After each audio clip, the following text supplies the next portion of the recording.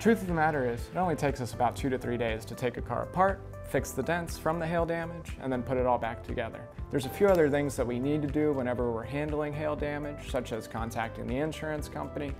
cleaning the car, circling up every single dent, whether it's as small as a dime up to a half dollar size, documenting that, estimating that, getting the insurance company's approval, washing the car once repairs are complete to get it back to you, so on and so forth. Uh, but generally, with all those things involved, it can take us about four or five days. If insurance companies aren't too quick to respond, sometimes that can tack on a few additional days too, especially if it's a busy hail season for the state. Uh, but all in all, typically expect about four to five days from drop off to delivery, but allow for a couple days here dealing with insurance companies and their turnaround time as well.